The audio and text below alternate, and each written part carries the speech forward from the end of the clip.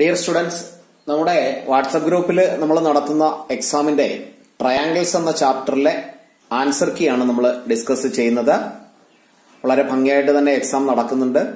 Maximum ആൾക്കാർ അത് utilise ചെയ്യുന്നതിൽ സന്തോഷം.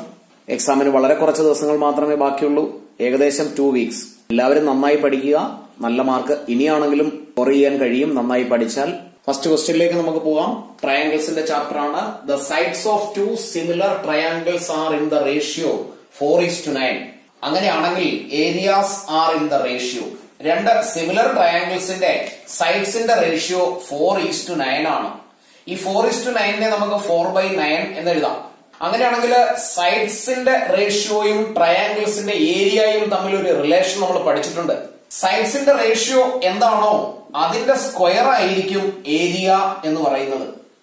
അതായത് മൂന്ന് സൈഡ്സ് ആണ് ഒരു ട്രയാങ്കിളിനുള്ളത് മറ്റൊരു ട്രയാങ്കിളുമായി കമ്പയർ ചെയ്യുമ്പോൾ മൂന്ന് സൈഡ്സുകളെയും ചേർത്തുകൊണ്ട് മൂന്ന് റേഷ്യോ നമുക്ക് എഴുതാം. അതിൽ ഏതെങ്കിലും ഒരു സൈഡിന്റെ റേഷ്യോയുടെ സ്ക്വയർ ആയിരിക്കും ആ രണ്ട് ട്രയാങ്കിളിന്റെയും ഏരിയാസിന്റെ സ്ക്വയർ അങ്ങനെയാണെങ്കിൽ ഇവിടെ ഫോറിന്റെ സ്ക്വയർ സിക്സ്റ്റീൻ ഡിവൈഡഡ് ബൈ നയനിന്റെ സ്ക്വയർ എയ്റ്റി വൺ ഇതിനെ നമുക്ക് sixteen is to eighty one എന്ന് എഴുതാം. അങ്ങനെയാണെങ്കിൽ ഇവിടെയുള്ള ഓപ്ഷൻ സി ആണ് right answer second question second ക്വസ്റ്റ്യനിൽ സിമിലാരിറ്റിയെ കുറിച്ചാണ് പറയുന്നത്. If in two triangles A B C and P Q R A B സിയും പി ക്യു ആറും കൺസിഡർ ചെയ്താൽ. അപ്പൊ നമുക്ക് അവിടെ രണ്ട് ട്രയാങ്കിളിനെ ഒന്ന് കൺസിഡർ ചെയ്യാം.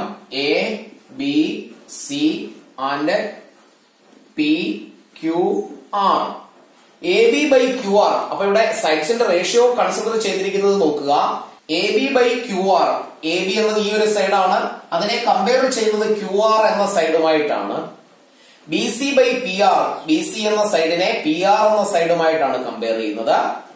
C A P Q third side third side അങ്ങനെയാണെങ്കിൽ ഇവിടെ സിമിലാരിറ്റി എങ്ങനെയാണ് എന്നാണ് ചോദിച്ചിരിക്കുന്നത്. ഒരു ട്രയാങ്കിളിനെ ഏത് രീതിയിൽ കൺസിഡർ ചെയ്യുന്നോ? അതേ രീതിയിലായിരിക്കണം രണ്ടാമത്തെ ട്രയാങ്കിളിനെ കൺസിഡർ ചെയ്യുന്നത്.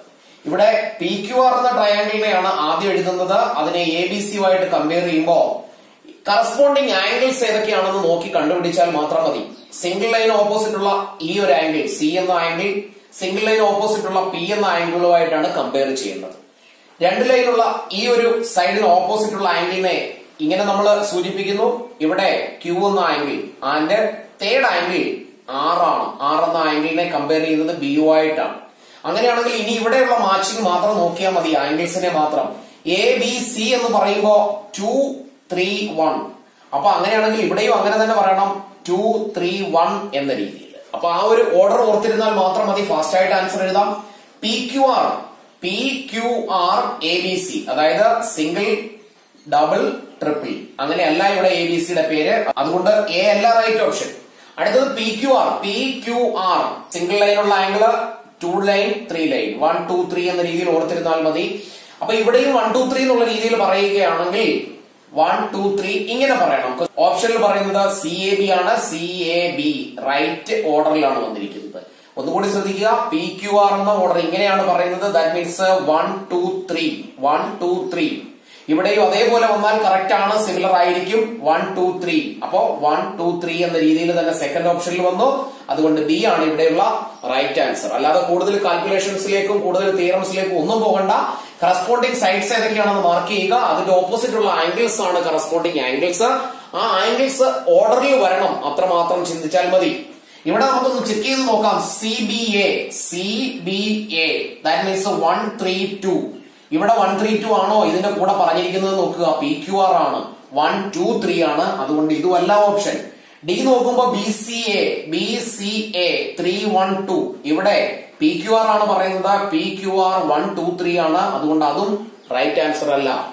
Correct answer is B third question A B C and B D E are two equilateral triangles A B സിയും ബി ഡി ഇയും രണ്ട് എക്യുലാറ്ററൽ ട്രയാങ്കിൾസ് ആണ്. Such that D is the mid point of B C അങ്ങനെയാണെങ്കിൽ ഇവിടെ ഒരു കാര്യം ശ്രദ്ധിക്കേണ്ടത്. A B സിയിൽ ബി ഉണ്ട് ബി ഡി ഇയിൽ ബി ഉണ്ട്. അപ്പോ ഈ ട്രയാങ്കിൾസ് സെപ്പറേറ്റ് അല്ല ഒന്നിനെ മറ്റൊന്ന് കണക്ട് ചെയ്യുന്ന രീതിയിലാണ്. അപ്പൊ നമുക്ക് എ ബി സി എന്ന ട്രയാങ്കിൾ ഒന്ന് കൺസിഡർ ചെയ്യാം. ബി സി എന്ന സൈഡിന്റെ മിഡ് പോയിന്റ് ആണ് ഡി എന്ന് പറയുന്നുണ്ട്. അങ്ങനെയാണെങ്കിൽ ഞാൻ ഇതിനെ ബി സി ആയി കൺസിഡർ ചെയ്താൽ എ ബി സി എന്ന ട്രയാങ്കിൾ ഇതാണ്. ബി സിയുടെ മിഡ് പോയിന്റ് ആണ് D is the mid point of B C അപ്പോ ബി ഡി ഇ എന്ന ട്രയാങ്കിൾ കൺസിഡർ ചെയ്യണം. ബി ഡി ഇ എന്ന് പറയുമ്പോ ഇവിടെ ഒരു പോയിന്റ് വേണമെങ്കിലും വരാം ഇതിനുള്ളിൽ വേണമെങ്കിലും വരാം. ഞാൻ ആ ഇ എന്ന പോയിന്റിനെ ഇങ്ങനെ മാർക്ക് ചെയ്യുന്നു. ഇതാണ് ഇ എന്ന പോയിന്റ് ഇനി രണ്ട് ട്രയാങ്കിൾസും എ ബി സിയും B D E B D E രണ്ട് ട്രയാങ്കിൾസും ഇക്വിലേറ്ററൽ ട്രയാങ്കിൾസ് ആണെന്ന് പറയുന്നുണ്ട്. അപ്പോ ഈ ഒരു ലെങ്ത് ഈ ബി സിയുടെ ഹാഫ് ആണ്. സപ്പോസ് ഇത് ഫൈവ് സെന്റിമീറ്റർ ആണെങ്കിൽ ഇതും ഫൈവ് സെന്റിമീറ്റർ ആണ്. അങ്ങനെയാണെങ്കിൽ ഈ രണ്ട് ട്രയാങ്കിൾസിന്റെ എ ബി സിയുടെയും ബി ഡി ഇയുടെയും ഏരിയാസ് തമ്മിലുള്ള റേഷ്യോ എന്താണെന്ന് മാത്രം നോക്കിയാൽ മതി. അപ്പൊ ഞാനിവിടെ കൂടുതൽ കാൽക്കുലേഷൻസ് ഒന്നും ചെയ്യുന്നില്ല. ഇത് മിഡ് പോയിന്റ് ആണ്. ഇത് മിഡ് പോയിന്റ് ഇത് മിഡ് പോയിന്റ് അങ്ങനെയാണെങ്കിൽ ഞാൻ ഇതിനെ ചേർത്തുകൊണ്ട് ഇങ്ങനെ ഉള്ളിൽ ഒരു ട്രയാങ്കിൾ വരച്ചാൽ one two three four triangles ആണ് ഇവിടെ ഉണ്ടായത്. ഈ നാല് ട്രയാങ്കിൾസിന്റെയും ഏരിയ ഈക്വൽ ആണ്. ബിക്കോസ് ഈ ഒരു സൈഡ് ഫുള്ള് സപ്പോസ് ടെൻ ആണെങ്കിൽ ഇത് ഫൈവ് ആണ് ഇത് ഫൈവ് ആണ്. ഈ പോയിന്റ് മിഡ് പോയിന്റ് ആണ്. സെയിം വേ ഇവിടെയും ഫൈവ് ഇവിടെയും ഫൈവ് ഇത് ഫൈവ് ആണ് ഇത് ഫൈവ് ആണ്. ഈ സൈഡ് ഫൈവ് ഈ സൈഡ് ഫൈവ് എല്ലാ സ്മാൾ ട്രയാങ്കിൾസിന്റെയും വൺ സൈഡ് എന്ന് പറയുന്നത് ഫൈവ് തന്നെയാണ്. അങ്ങനെയാണെങ്കിൽ ഇതിന്റെ എല്ലാ ഏരിയ ഈക്വലും ആണ് because all the triangles are equilateral triangles അപ്പൊ ഇവിടെ നമുക്ക് ഡിവൈഡ് ചെയ്തപ്പോൾ one two three four triangles ഇവിടെ കിട്ടി. ഇവിടെ ഇതിന് ഈക്വലായ ഏരിയ ഉള്ള ഒരു സ്മാൾ ട്രയാങ്കിൾ ആണ് ബി ഡി ഇ അതായത് ഇതുമായി കമ്പയർ ചെയ്യുമ്പോൾ ഇവിടെ ഒരു ട്രയാങ്കിളേ ഉള്ളൂ. That means four is to one ആണ് right answer B four is to one ഒരു കാൽക്കുലേഷനും വേണ്ട. കാര്യങ്ങളെ മനസ്സിലാക്കിയിരുന്നാൽ മാത്രം മതി. Fourth question in triangles A B C and D E F രണ്ട് സെപ്പറേറ്റ് ട്രയാംഗിൾസ് ആണ്. അപ്പൊ രണ്ടെണ്ണത്തിനെ സെപ്പറേറ്റ് ആയിട്ട് നമുക്ക് ഡ്രോ ചെയ്യാം. A B C and D E F D E F equal angles തന്നിട്ടുണ്ട്. B is equal to E B എന്ന angle E എന്ന ആംഗിളിന് ഈക്വൽ ആണ്. And F is equal to C F എന്ന ആംഗിൾ സി എന്ന ആംഗിളിന് equal ആണ്. അങ്ങനെയാണെങ്കിൽ തേർഡ് ആംഗിൾ എ ഡിക്ക് ഈക്വൽ ആണ്. And A B is equal to three D E A ബിയുടെ ലെങ്ത് ഡി ഇയുടെ ത്രീ ടൈംസ് ആണ്. അപ്പോ എ ബിയെ നമുക്ക് ത്രീ ഡി ഇ എന്ന് എഴുതാം. ക്വസ്റ്റ്യൻ ഇങ്ങനെയാണ് ദെൻ ടു ട്രയാങ്കിൾസ് ആണ്. അങ്ങനെയാണെങ്കിൽ ഈ രണ്ട് ട്രയാങ്കിൾസും എങ്ങനെയായിരിക്കും? സിമിലർ ബട്ട് നോട്ട് കോൺഗ്രുവന്റ് ആണോ? Congruent but not similar congruent as well as similar neither congruent nor similar ഇതിൽ ഏത് ഓപ്ഷൻ ആണ് റൈറ്റ് എന്ന് നോക്കുക. എപ്പോഴെങ്കിലും രണ്ട് ട്രയാങ്കിൾസിനെ കൺസിഡർ ചെയ്യുമ്പോൾ കമ്പയർ ചെയ്യുന്നതിൽ ഒരു സൈഡിന്റെ ലെങ്ത് മറ്റൊരു സൈഡിന്റെ ത്രീ ടൈംസ് ആണെന്ന് പറയുന്ന രീതിയിൽ ഇങ്ങനെ വന്നാൽ ഒരിക്കലും ഈ രണ്ട് ട്രയാങ്കിൾസും കോൺഗ്രുവന്റ് ആകാൻ ചാൻസ് ഇല്ല. കാരണം കോൺഗ്രുവന്റ് ട്രയാങ്കിൾസ് കോൺഗ്രുവന്റ് ട്രയാങ്കിൾസിന്റെ പ്രത്യേകത അതിന്റെ കറസ്പോണ്ടിങ് ആംഗിൾസ് ഈക്വൽ ആയിരിക്കും. Also their corresponding sides are equal corresponding angles equal ആകുക മാത്രമല്ല അതിന്റെ സൈഡ്സിന്റെ ലെങ്ത് പോലും ഈക്വൽ ആയിട്ടാണ് വരുന്നത്. കോൺഗ്രുവന്റ് എന്ന വാക്കിനർത്ഥം ഒരേപോലെ വരിക ഈക്വലായി വരിക എന്നാണ്. അങ്ങനെയാണെങ്കിൽ ഇവിടെ ഈക്വൽ ആയി വരുന്ന ഒരു കണ്ടീഷൻ വരുന്നതേ ഇല്ല. Because A B A three D E ആയിട്ടാണ് കൺസിഡർ ചെയ്യുന്നത്. ഇനി ഇവിടെ മൂന്ന് ആംഗിൾസും ഈക്വൽ ആയി വരുന്നു. രണ്ടെണ്ണമേ ക്വസ്റ്റ്യനിൽ പറയുന്നുള്ളൂ. അങ്ങനെയാണെങ്കിൽ ഈ രണ്ട് ട്രയാംഗിൾസും സിമിലർ ആണെന്നുള്ള കാര്യം ഷുവർ ആണ്. ഈ രണ്ട് ട്രയാംഗിൾസ് സിമിലർ ആണ് എന്നാൽ കോൺഗ്രുവന്റ് അല്ല താനും. അപ്പോ ഓപ്ഷൻ ഏതാന്ന് നോക്കാം. സിമിലർ ബട്ട് നോട്ട് കോൺഗ്രുവന്റ് ഇത് റൈറ്റ് ആൻസർ ആണ്. അടുത്തതിൽ കോൺഗ്രുവന്റ് ബട്ട് നോട്ട് സിമിലർ അല്ല ഇവിടെ കോൺഗ്രുവന്റ് അല്ല സിമിലർ ആണ്. അത് നേരെ തിരിച്ചു പറഞ്ഞിരിക്കുന്നു wrong answer congruent as similar ഒരിക്കലും ഒരിക്കലുമല്ല നെയ്തർ കോൺഗ്രുവന്റ് നോർ സിമിലർ കോൺഗ്രുവന്റും സിമിലറും അല്ല എന്നാണ് അതും തെറ്റാണ്. അങ്ങനെയാണെങ്കിൽ ഇവിടെയുള്ള എ ആണ് correct answer fifth question assertion reason question ആണ്. സി ബി എസ് സിയുടെ പുതിയ എക്സാം പാറ്റേണിൽ എം സി ക്യു ടൈപ്പിലുള്ള ഒരു ടൈപ്പ് ക്വസ്റ്റ്യൻ ആണ് അസഷൻ ആൻഡ് റീസൺ ക്വസ്റ്റ്യൻ വളരെയേറെ വായിക്കാനുണ്ടെങ്കിലും കണ്ടിന്യൂസ് പ്രാക്ടീസ് ചെയ്യുകയാണെങ്കിൽ ഈവൻ ഇതിലുള്ള ഓപ്ഷൻസ് എന്താണെന്ന് പോലും പെട്ടെന്ന് ഓർത്തിരിക്കാൻ കഴിയും. എ ഓപ്ഷൻ എന്തായിരിക്കും ബി എന്തായിരിക്കും സി എന്തായിരിക്കും ഡി എന്തായിരിക്കും. പിന്നീട് അതിന് തന്നിരിക്കുന്ന ഡയറക്ഷൻ വായിച്ചു നോക്കുന്നു. ഡയറക്ഷൻ പറഞ്ഞിട്ടുണ്ടാവും if the following question a statement of assertion is followed by a statement reason mark the correct choice given ഇതൊക്കെ നേരത്തെ പ്രാക്ടീസ് ചെയ്യുകയാണെങ്കിൽ അത്തരത്തിലുള്ള സെന്റൻസുകളൊന്നും വായിക്കാൻ പോയി നമുക്ക് സമയം വേസ്റ്റ് ആക്കേണ്ട ആവശ്യമേ വരുന്നില്ല. അസഷൻ വായിച്ചു നോക്കുക സ്റ്റേറ്റ്മെന്റ്. പറഞ്ഞിരിക്കുന്ന സ്റ്റേറ്റ്മെന്റ് കറക്റ്റ് ആണോ എന്ന് കൺഫേം ചെയ്യുക. നെക്സ്റ്റ് റീസൺ കറക്റ്റ് ആണോ പറഞ്ഞിരിക്കുന്നതെന്ന് കൺഫേം ചെയ്യുക.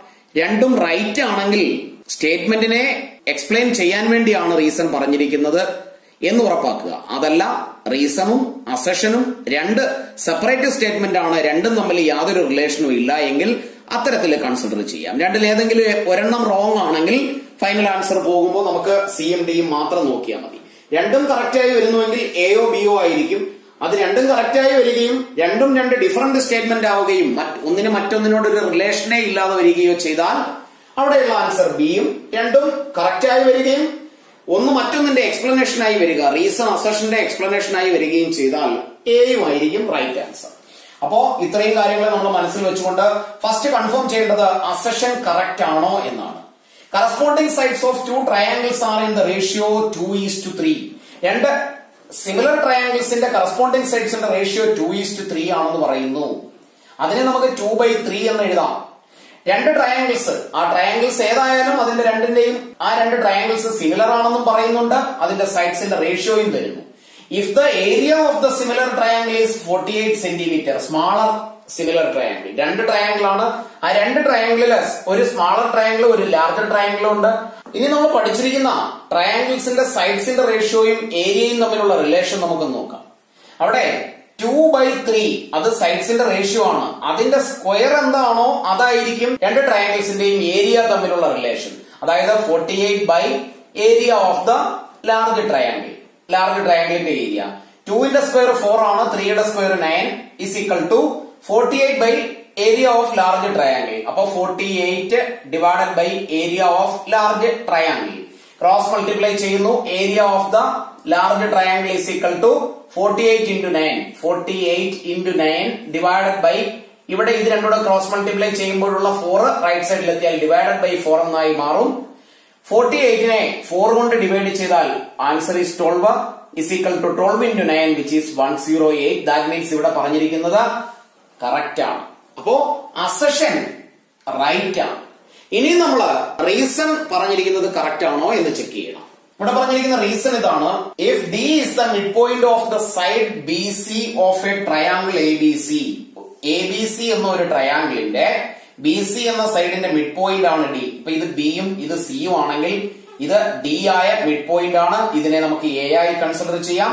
Such that angle A D C A D C എയും ഡിയും കൂടെ കണക്ട് ചെയ്ത ഒരു ലൈൻ വരച്ചാൽ ഇവിടെയുള്ള ആംഗിൾ ആണ് എ ഡി സി ഈ ഒരു angle is equal to B A C B A C ഈ ഒരു വലിയ angle then C A square is equal to C B into C D അങ്ങനെയാണെങ്കിൽ ഈ രണ്ട് ട്രയാങ്കിളിനെ ഞാൻ സെപ്പറേറ്റ് ഒന്ന് ഡ്രോ ചെയ്യുകയാണ്. ഫസ്റ്റ് വലിയ triangle A B C A B C second triangle A D C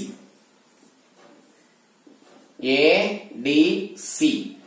ഇവിടെ ഈ ഒരു ആംഗിൾ ഈ ഒരു ആംഗിൾ ഈ വലിയ ആംഗിളിന് ഈക്വൽ ആണെന്ന് പറയുന്നു. ഇനി ഈ രണ്ട് ട്രയാംഗിളിനെ കമ്പയർ ചെയ്താൽ സി എന്ന ആംഗിൾ രണ്ട് ട്രയാംഗിളിനും കോമൺ ആണ്. അങ്ങനെയാണെങ്കിൽ ഈ സി എന്ന ആംഗിൾ ഈ ആംഗിളിന് ഈക്വൽ ആണ്. രണ്ട് ട്രയാംഗിൾ കമ്പയർ ചെയ്യുമ്പോൾ രണ്ട് ആംഗിൾസ് വീതം ഈക്വൽ ആയാൽ ആ രണ്ട് ട്രയാംഗിൾസും സിമിലർ ട്രയാംഗിൾസ് ആണ്. അങ്ങനെയാണെങ്കിൽ അതിന്റെ കറസ്പോണ്ടിങ് സൈഡ്സിന്റെ റേഷ്യോ ഈക്വൽ ആയിരിക്കും. അപ്പൊ നമുക്ക് കറസ്പോണ്ടിങ് സൈഡ്സിനെ എഴുതുമ്പോൾ ശ്രദ്ധിക്കേണ്ട കാര്യം ഈ സ്റ്റേറ്റ്മെന്റിൽ പറഞ്ഞിരിക്കുന്ന സൈഡ്സുകളെ മാത്രമാണ് കൺസിഡർ ചെയ്യേണ്ടത്. എ സി എന്ന സൈഡ് ഈ ആംഗിളിന് ഓപ്പോസിറ്റ് ഉള്ള സൈഡ് ആണ്. അതായത് ഇതിനെ നമ്മൾ ത്രീ ലൈൻസ് ഇട്ട് മാർക്ക് ചെയ്താൽ ഈ എന്ന ആംഗിളിന് കറസ്പോണ്ടിങ് ആയി വരുന്ന ആംഗിൾ ഈ ആംഗിൾ ആണ്. അതിനെ ത്രീ ലൈൻസ് കൊണ്ട് നമ്മൾ ഇൻഡിക്കേറ്റ് ചെയ്തു. ഇനി ആംഗിൾസ് ഈക്വൽ ആയതുകൊണ്ട് ഈ രണ്ട് ട്രയാംഗിൾസും സിമിലറും ആണ്.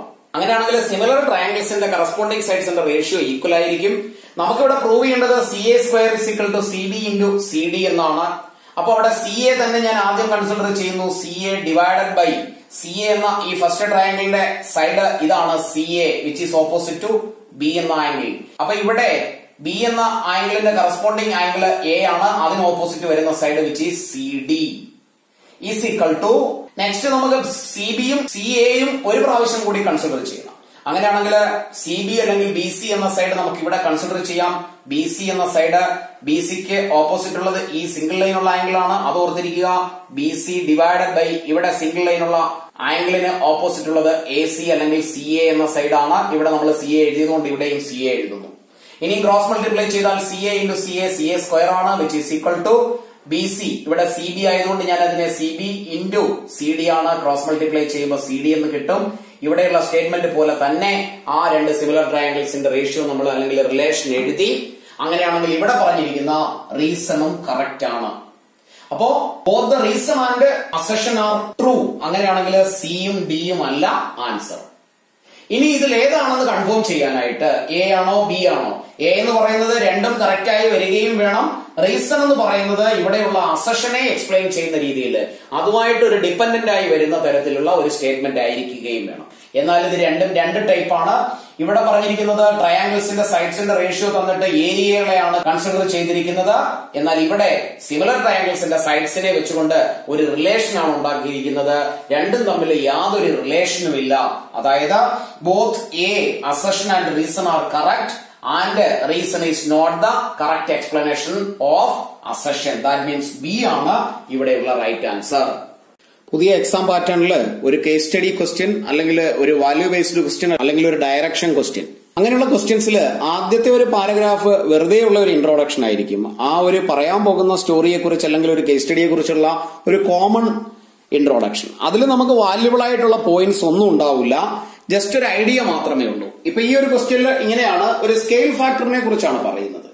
അപ്പൊ അതിന് മുകളിൽ എഴുതിയിട്ടുണ്ടാവും read the following text and answer the below questions scale factor a scale drawing of an object is the same shape at the object but a different size the scale of a drawing is a comparison of the length used on the drawing to the length it represent the scale is written as a ratio the ratio of two corresponding sides in similar figure is called the scale factor scale ഫാക്ടറിനെ കുറിച്ചാണ് പറയുന്നത്. നമുക്ക് നന്നായിട്ട് അറിയാവുന്ന ഒരു കാര്യമാണ് മാപ്പ് എല്ലാ മാപ്പിലും ഒരു scale എഴുതിയിട്ടുണ്ടാവും. One is to two hundred one is to thousand അത് സൂചിപ്പിക്കുന്നത് ആ ഫിഗറിൽ ഒരു വൺ സെന്റിമീറ്റർ നമ്മൾ മെഷർ ചെയ്താൽ അത് ടു ഹൺഡ്രഡ് മീറ്ററിനെയോ കിലോമീറ്ററിനെയോ അല്ലെങ്കിൽ തൗസൻഡ് കിലോമീറ്ററിനെയോ സൂചിപ്പിക്കുന്നു എന്നായിരിക്കും.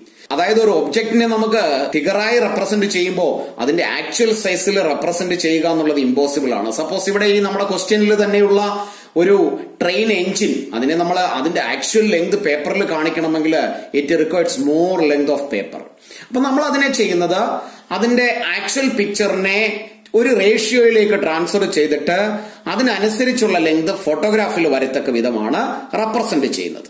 അതിനെയാണ് നമ്മളിവിടെ സ്കെയിൽ ഫാക്ടർ എന്ന് പറയുന്നത്. ആ സ്കെയിൽ ഫാക്ടർ എന്ന് പറയുന്നത് കണ്ടുപിടിക്കാൻ അല്ലെങ്കിൽ ആ റേഷ്യോ എന്ന് പറയുന്നത് length in the image ഇമേജിലുള്ള length divided by corresponding length in object original length ഫിഗറിലുള്ള ലെങ്തും ഒറിജിനൽ ലെങ്തും തമ്മിലുള്ള റിലേഷൻ അതിനെയാണ് സ്കെയിൽ ഫാക്ടർ എന്ന് പറയുന്നത്.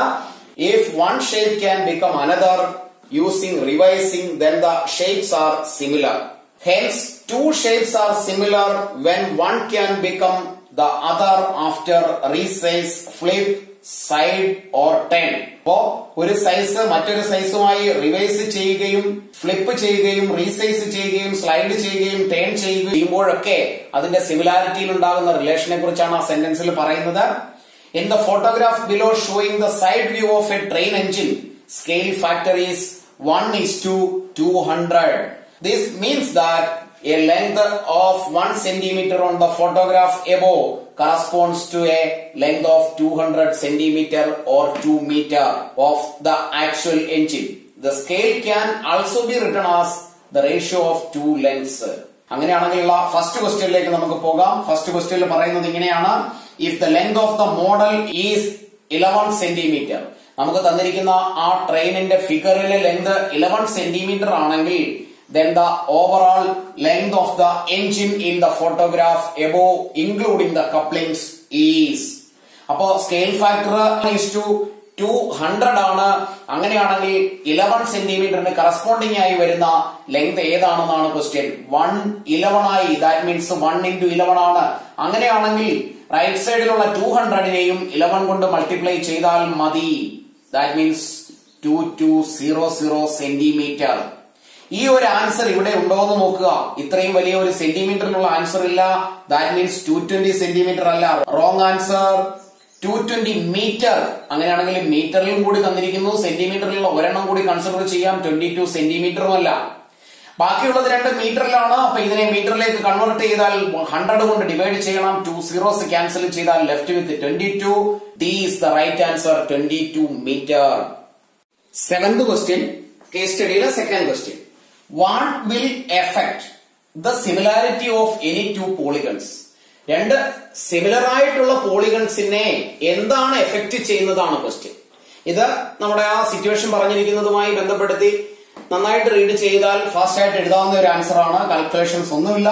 ദേ ആർ ഫ്ലിപ്ഡ് ഹൊറിസോണ്ടലി രണ്ട് സിമിലർ ഫിഗർസിനെ ഹൊറിസോണ്ടലി ഫ്ലിപ്പ് ചെയ്താൽ അതിനെ അതിന്റെ സിമിലാരിറ്റി എഫക്ട് ചെയ്യുമോ എന്നാണ്. ഒരിക്കലും അതിന്റെ സിമിലാരിറ്റി അത് എഫക്ട് ചെയ്യില്ല.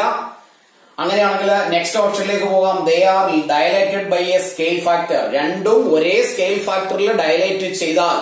അപ്പൊ രണ്ടും സിമിലർ ആണ്. ആൾറെഡി സിമിലർ ആയ രണ്ട് പോളിഗൺസിനെ ഒരേ സ്കെയിലിൽ ഡയലേറ്റ് ചെയ്താലും അതിന്റെ സിമിലാരിറ്റിയിൽ യാതൊരു വ്യത്യാസവും വരില്ല. അപ്പൊ അതുമല്ല answer they are translated down രണ്ടും ട്രാൻസ്ലേറ്റഡ് ഡൗൺ ചെയ്യുന്നു. രണ്ടും ഒരേപോലെയാണ് ചെയ്യുന്നതെങ്കിൽ അവിടെയും സിമിലാരിറ്റിയിലെ ഡിഫറൻസ് വരില്ല. Fourth option they are not the mirror image of one another രണ്ടും ഒന്ന് മറ്റൊന്നിന്റെ മിറർ ഇമേജ് അല്ലാതെ വരിക. അപ്പൊ സിമിലാരിറ്റിയിൽ നമ്മൾ അറിഞ്ഞിരിക്കേണ്ട ഒരു കാര്യം ഇതാണ്. രണ്ട് സിമിലർ ഫിഗർ സിമിലർ എന്ന് പറഞ്ഞാൽ ഒന്നിനെ പോലെ ഇരിക്കുന്ന മറ്റൊന്ന് എന്നാണ്. സൈസ് വലുതോ ചെറുതോ ആകാം എങ്കിലും ഷേപ്പ് സെയിം ആയിരിക്കണം. അപ്പോ ഇവിടെ പറഞ്ഞിരിക്കുന്നത് നോട്ട് ദ മിറർ ഇമേജ് എന്നാണ്. അത് രണ്ടും സിമിലർ ആണെങ്കിൽ അത് മിറർ ഇമേജ് തന്നെ ആയിരിക്കും അപ്പോ അങ്ങനെയാണെങ്കിൽ ഈ ചോദ്യത്തിനുള്ള ആൻസർ ഡി ആണ്. സെവന്ത് ക്വസ്റ്റ്യനിൽ നമ്മൾ ഡിസ്കസ് ചെയ്തപ്പോൾ ഞാൻ അവിടെ എഴുതിയിരിക്കുന്ന ഓപ്ഷൻ അനുസരിച്ച് അവിടെയുള്ള ആൻസർ ഡി ആയിരുന്നു. എന്നാൽ നമ്മുടെ ക്വസ്റ്റ്യനിൽ ആ ഒരു ഓപ്ഷൻ വരുന്നത് സി ആണ്. അപ്പൊ ക്വസ്റ്റ്യൻ റെഫർ ചെയ്യുകയാണെങ്കിൽ അവിടെയുള്ള സെവന്ത് ക്വസ്റ്റ്യന്റെ ആൻസർ സിയും ഞാൻ ഇവിടെ എക്സ്പ്ലെയിൻ ചെയ്തതിൽ ഡിയും ആണ്. അപ്പൊ അത് എഴുതിയതിലുള്ള പൊസിഷൻ ചേഞ്ച് കൊണ്ടുണ്ടായ ഒരു ഒരു പ്രോബ്ലം ആണത്. എയ്ത്ത് ക്വസ്റ്റിലേക്ക് പോകാം what is the actual width of the door if the width of the door in photograph is zero point three five centimetre ഫോട്ടോഗ്രാഫിലെ ഡോറിന്റെ width zero point three five centimetre ആണെങ്കിൽ അതിന്റെ actual size എത്രയാണെന്നാണ് question നമുക്കറിയാം ഇവിടെയുള്ള ratio എന്ന് പറയുന്നത് one is to two hundred ആണ്. അങ്ങനെയാണെങ്കിൽ ഇതിനെ ടു കൊണ്ട് മൾട്ടിപ്ലൈ ചെയ്യുന്നു. കൊണ്ട് മൾട്ടിപ്ലൈ ചെയ്താൽ സെവൻ ഇവിടെയുള്ള രണ്ട് സീറോ പ്ലേസ് ചെയ്യുന്നു. അങ്ങനെയാണെങ്കിൽ ഇവിടെ രണ്ട് ഡെസിമൽ ആണ് ഇവിടെ പോയിന്റ് പ്ലേസ് ചെയ്യാം. ദാറ്റ് മീൻസ് സെവന്റി സെന്റിമീറ്റർ എന്നാണ് കിട്ടിയത്. ഇവിടെ ഒരു ആൻസർ സെവന്റി സെന്റിമീറ്റർ എന്നില്ല.